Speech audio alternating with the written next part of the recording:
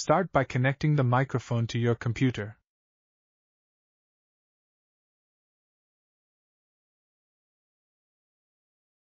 If your computer does not have a USB A port, the USB connector can be removed and connected to your computer using USB C.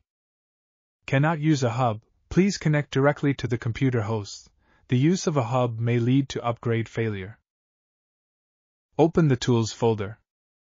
Double click to open the app. Update the driver according to the update pop up. Tip Do not unplug or exit the software during the upgrade process.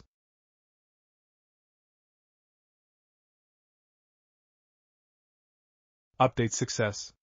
Please unplug and experience the device. Noise cancelling adjustment function available after successful connection. Language switching. When the connection is successful, the display is green.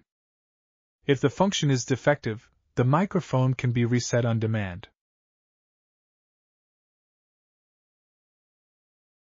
Values can be entered directly.